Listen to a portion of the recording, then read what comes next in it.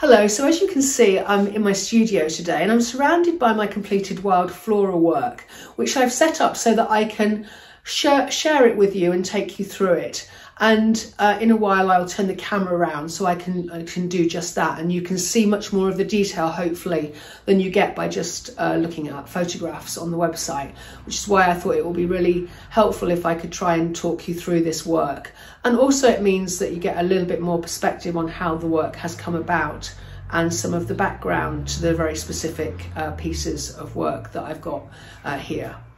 Uh, and so if you've been following me for a while, you'll realise that I uh, have been creating this body of work for a while. Uh, it's about the wild flora along the country lane during my walks during the autumn time. Uh, and uh, this sort of walk is a very local walk to me. And uh, during the autumn, it's so wonderful because you've got such a richness of colour and texture and all of, and detail. Uh, and you know there there are massive sways, there are grassy banks, foxgloves, uh, lots of uh, seed heads. Uh, so you've got the cow parsley all in sort of the umbellifera kind of seed heads. Uh, you've got the rosebay willow herb swades, which are just huge and dramatic and pink and architectural. You've got the brambles and so on. And so it's that which is formed the basis of this work.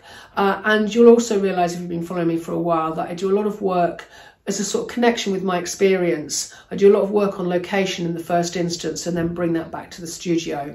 Uh, and I work extensively in sketchbooks and I'm not going to go through them today. I've got a few dotted around, but I'm not going to go through them today. But they are all uh, talked about on my YouTube channel with a playlist about this specific work series, uh, which is available for you to have a look at. And I'll put the link uh, into the newsletter so that you can see that if you if you want to check through. So one of the things I wanted to kind of talk a little bit about before turning the camera around is the kind of the, the way of this work. And the work is not representative uh, in the sense that it's not a single view. Um, but what it is is very connected to the experience, and I'd like to think that this is this work is all about the feel uh, of that place, the colours, the textures, the marks, and hopefully if you're if you're interested in in nature and landscape and you like to have that in, in artwork in your house then this might be for you because it has the feel hopefully of of walking down a country lane without necessarily being a single view of walking down a country lane. And hopefully the colors and marks reflect that. They are quite contemporary but i think that this work would fit in either a contemporary or a more traditional setting. Anyway, without further ado, I'm going to turn the camera around and I'm going to start with talking about the works that I've got on paper. Okay, so here are my works on paper and I'll start with the these two black and white uh, works, uh, which were actually done uh, mostly on location. And uh, these are A3 size with a mount around them and they will come cellophane wrapped. So if I go in uh, close, you'll be able to see that these are based on uh, charcoal, uh, ink uh, and pencil and a whole uh, mix of uh, media, but all black and white. And these, if, if anything, these two are more representative than any of my other work, but obviously, as you can see, they're much looser than a, a typical rendition. Hopefully, by me going in really close, you can see a lot of the detail of the different marks and textures. Uh, and it's amazing, isn't it, how much detail you can get with limited media. I'm a big fan of charcoal. Uh, although it's quite messy, uh, it's also quite wonderful and soft and uh, different uh, charcoals give you different effects. So this is willow charcoal and compressed charcoal and the darker black is the ink and then I've been using pencil graphite stick in there as well. And then if I go over to the other one, the other one is uh, similar but different. Um, this again has is done with this is has the same media, uh, but uh, used in a slightly different way, and more compressed charcoal is used in this one. Gives you a real feel for the richness and complexity of the wild flora uh, in the autumn time. And here we are with the three uh, mixed media uh, pieces that are also on uh, paper. This time uh, it's on hot, hot pressed watercolour paper. And there are layers of collage and paint and other mixed media in these. And if I go in, you'll be able to see a little bit, hopefully a little bit more detail. Uh, so this is one that is based on the uh, Rose Bay Willow herb. It's very loose and expressive. There are, it's the start point were um, some pieces of work that were actually about the Rose Bay Willow herb that were torn up and uh, elements of those were the start of this piece. Uh, and then I worked over with inks and acrylic paint and pencil and other media. Uh, and hopefully you can see the, the fine marks and textures and details and text and scratching and so on.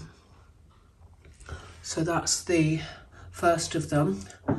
Second one really is all about the grassy banks and uh, the depth of, of the textures and colours and shapes and well, everything going on in the in, in within the grassy banks really and there's a sort of real sort of goldenness about the grassy banks in certain lights especially in the autumn time because you've got all of the lovely rich golds and oranges and burnt uh, sort of colours uh, and then that combines with the green. Often the green is quite leathery.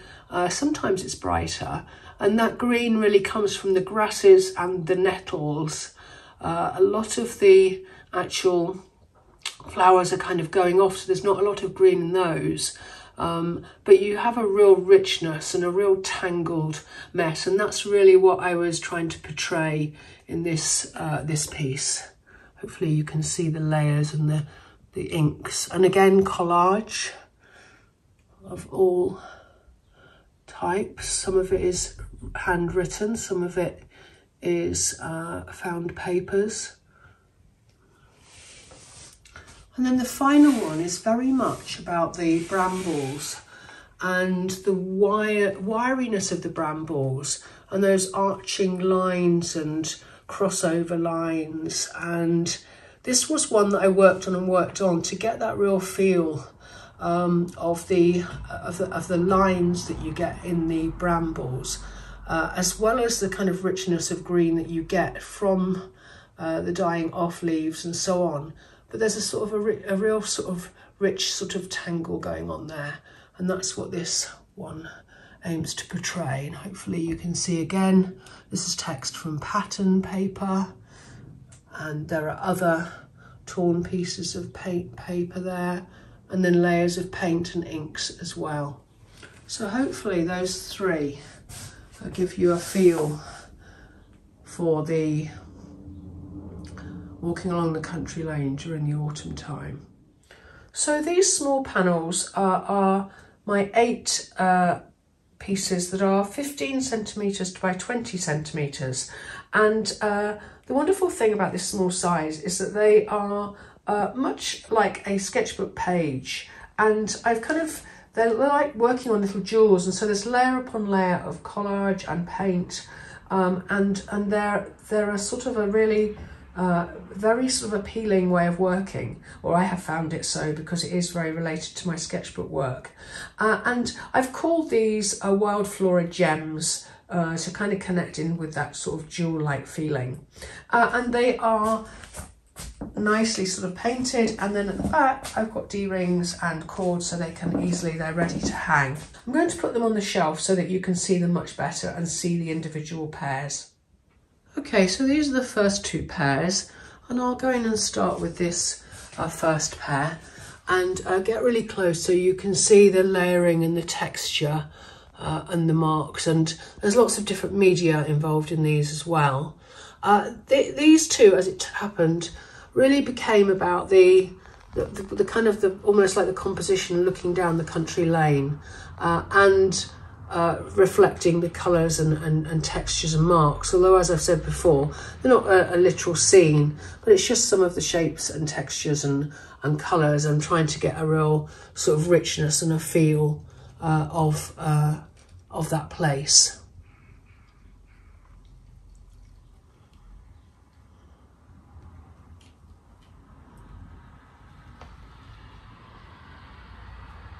Those are the first two. So that's Wild Flora Gems 1 and 2.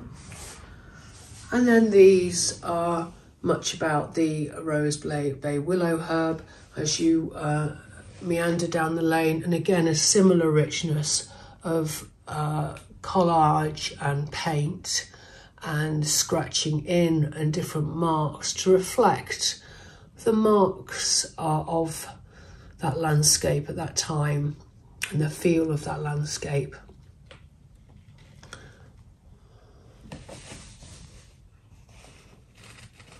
The actual rosebay willow herb is such a dramatic plant, uh, especially at this time of year, and the pinks and the verticals and these sorts of white marks that you see everywhere across them as they as they go to seed is a thing.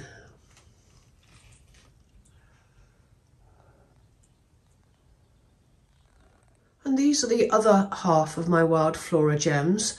So these are what these uh, two are wild flora gems five and six, and these all are all about the brambles uh, in the autumn time along the along the country lane.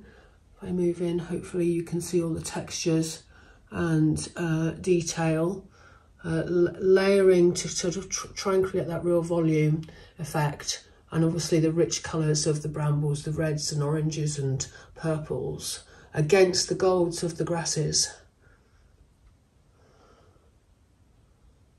And then the other piece, similar but different. Uh, again, uh, the purples and the, and the golds, but this time focusing a little bit more on the arching stems against the blue contrast of the sky. Just creating that real feel of the of, of those um, that tangle of, of stems. So those are the two bramble pieces. And then on the other side last two pieces wild flora gems seven and eight. These two are all about the grassy banks uh, and the, and the uh, the grassy banks along the country lane. If I go in hopefully you can see the effects I've used to create the sort of feel of the textures of the grasses. So there's lots of collage and paint and layering and creating depth with all of the different marks and so on. Because although in some ways the grassy banks are kind of buff and neutral colours, um, there's lots going on in them and I've used the texture to create that feel of the depth of them. And this one, again, the, the blue contrast with the orange and the textures created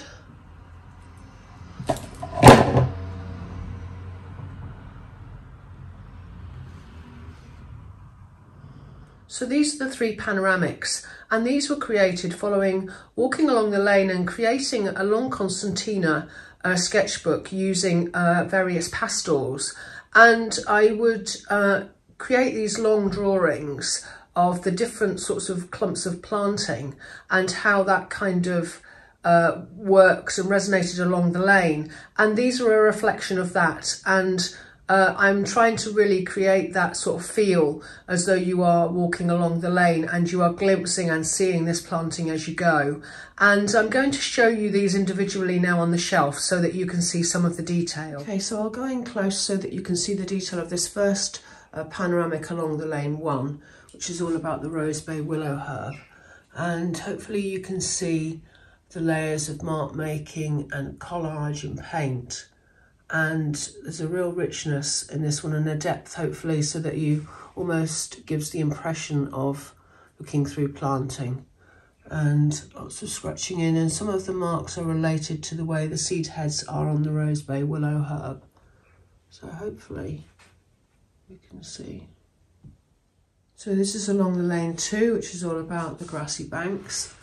And again I'll let's go in so that you can see. There's lots of text in this one lots of layering similarly to the other one and collage and papers and mixed mark making.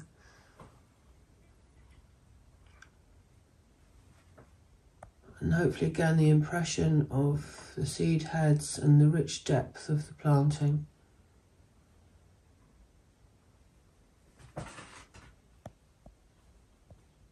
And this final one is all about, uh, which is along the lane three, is all about the banks of brambles and again lots of richness, lots of scratchy mark making and varied lines in this one that reflect the brambles. So if I come along the side, you see lots of scratchy mark making, which contrasts, well, the sort of finer lines contrasting with much thicker uh, marks and, and arches, which is very typical uh, of the uh, brambles. Finally, I'm going to share with you these three works on my painting wall. And I'll walk in and so that you can just see the top ones in the first instance. These two pieces are going to be on show uh, at Dean Clough at the MAFA, Manchester Academy of Fine Art summer exhibition that starts uh, on Saturday the 17th, so it's already started, and when you see this video, and uh, with a preview, and then it continues for a month. And uh, I've put the, the links and details of that in previous newsletters, uh, but these two works will be on show there uh, and are available to buy uh, there. So let me just go into, in case you don't get a chance to see them in person, you can go and see lots and lots of textural richness here and layering. I was really trying to get the energy of the grassy banks in this one and the feel of the seed heads and that real sort of sense of the white dust that is kind of floating in the air. And this one is, as I say, this is this is called uh, Promises Promises. And then the other one Push Me Pull Me is all about the Rose Bay Willow herb. And if I go in there, you'll see that the real richness of pinks and the architectural nature of that planting, trying to reflect that in this rather uh, ostentatious or rather dramatic pink uh, piece. And of course the grey reflecting the uh, stone walls, but without literally showing them, but actually that feel of the stone walls. Again, the static nature against the planting and the contrast of the stability of that and the lumpiness of the stone against the rather ostentatious planting. So that's Push Me, Pull Me. As I say, those will be on show at Dean, at Dean Clough uh, until uh, the middle of July. Okay, and the final piece I want to share here. This is a large piece. It's an 50, uh, sort of 80 centimetres by 50 centimetres. I'm showing it here not framed because it was just easier to anchor it, uh, but it will be framed in exactly the same frame as you see for the others above there. Uh, and if I go in close again, this is about the Rose Bay Willow Herb, but slightly differently. Uh, this is called Similar But Different. And this is all about looking at the Rose Bay Willow Herb face on. So instead of walking down the lane, you're looking at it face on. And it's just that impression, what it could be like. There's lots of layering, lots of masking, lots of covering up, lots of drips, texture, and also uh, quite a bit of collage and layering going on here.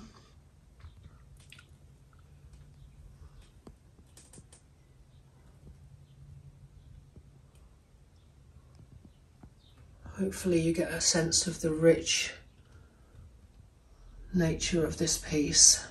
Many, many layers built over, over time, constantly adding, constantly taking away uh, to create that real feel of that rich rose bay willow herb planting. So I hope that was a helpful whistle stop tour of my wild flora collection. But if you do have any further questions, uh, things you want clarifying, then please don't hesitate to get in contact. Okay, thanks then. Bye-bye.